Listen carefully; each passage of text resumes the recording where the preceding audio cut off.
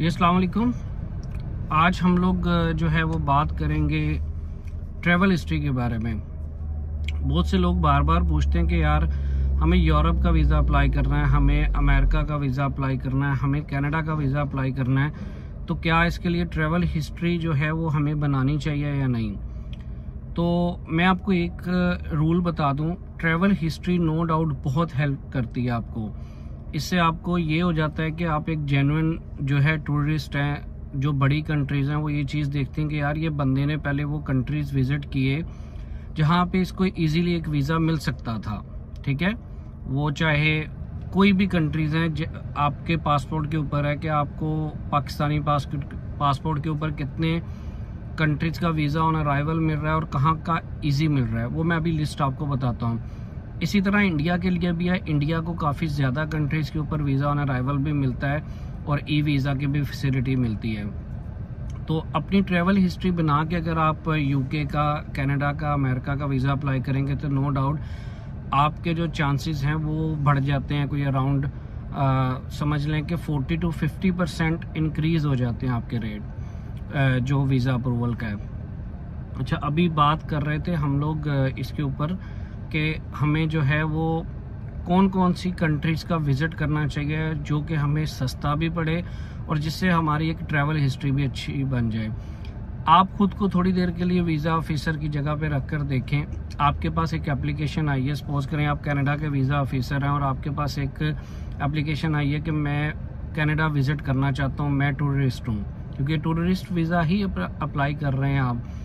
अब जब आपने वीज़ा अप्लाई कर दिया, ठीक है उसके बाद जब आपके सामने उस बंदे की एप्लीकेशन आई है, आप एज ए वीज़ा ऑफिसर देखेंगे, आप कहेंगे कि यार ये बंदा पाकिस्तान या इंडिया से सीधा कनाडा आना चाह रहा है। इसके पास जो है दुबई था, ये वहाँ पर नहीं गया। इसके पास मालदीव्स था, वहाँ पर नहीं गया। इसके पास थाईलैंड था, नहीं गया। इसके पास सबसे श्रीलंका था, ये वहाँ पर भी नहीं गया और ये सीधा कनाडा आना चाहता है और ये हमें कह रहा है कि मैं भाई टूरिस्ट हूँ, मैं जेन्यन टूरिस्ट हूँ, मुझे वीज़ा दें, मैं फिर के वापस चला जाऊँगा कनाडा से। तो ये लॉजिकली बात मानी नहीं जाएगी आपकी बिल्कुल भी, ठीक है? तो इसी तरह वीज़ा ऑफिसर सोचता है कि यार, ये अपने कंट्रीज़ जो थी, वहाँ पर इसने विज़िट नहीं किया और ये सीधा हमारी कंट्रीज़ के अंदर आना चाहता है तो आप इसके लिए ट्रैवल हिस्ट्री अपनी बनाना शुरू कर दें। ट्रैवल हिस्ट्री के लिए मैं कुछ कंट्रीज़ आपको, ये पाकिस्तान, इंडिया दोनों से इजी भी हैं, सस्ती भी हैं, ठीक है? इसके अंदर आप सबसे पहले श्रीलंका जाएँ, उसके साथ आप मालदीव्स जाएँ, दोनों पास पास में हैं, वहाँ पर जाएँ, उसके अलावा आप थाईलैंड जाएँ, उसके बाद सिंगापुर जाएँ, उसके बाद मलेशिया जाएँ, ठीक है? और जब आप थाईलैंड जाएँगे, थाईलैंड से आप कंपोडिया भी जा सकते हैं और वियतनाम भी, वहाँ पर ही आपको वीज़ा मिल जाता है, ठीक है? और ये सारे वो कंट्रीज़ मैं आपको बता रहा हूँ।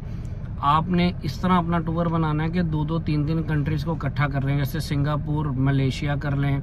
उसके साथ आप श्रीलंका भी कर सकते हैं अगर आपको वाया श्रीलंका जो है फ़्लाइट मिल जाए। और थाईलैंड से आप बाय बस भी कम्पोडिया जा सकते हैं बाय प्लेन भी जा सकते हैं वियतनाम भी जा सकते हैं। तो ये वो कंट्रीज़ हैं जहाँ पर आप इजीली वीज़ा भी ले सकते हैं और ये आपको स्टैंप भी देते हैं और ये स्टिकर वीज़ा भी मोस्टली कंट्रीज़ इनमें से देती हैं। ठीक है?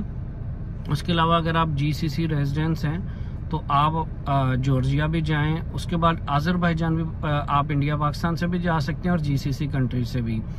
तो ये मैंने एक लिस्ट आपको इसलिए बता दी है ये वो बेसिक कंट्रीज़ हैं जिनके अंदर आप जाएँगे, आपका वीज़ा लगा होगा, उसके बाद आप शेंजन अप्लाई करें यूके अप्लाई करें या कनाडा अप्लाई करें, आपको लिए ईजी है, ठीक है? तो उसमें जो है ना, आप ये ख्याल रखें कि इन कंट्रीज़ में आपने जो है, लाजमी जो है वो करना है विज़िट इससे पहले।